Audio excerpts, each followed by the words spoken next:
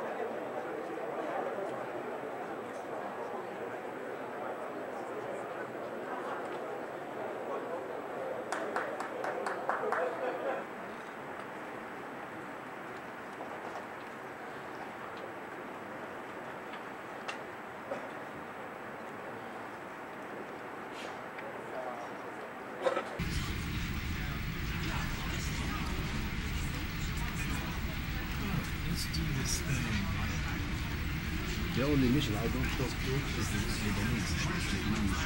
really? I don't talk to them. Because they are agents. Imagine the person, the person gets uh, like uh, token from the food.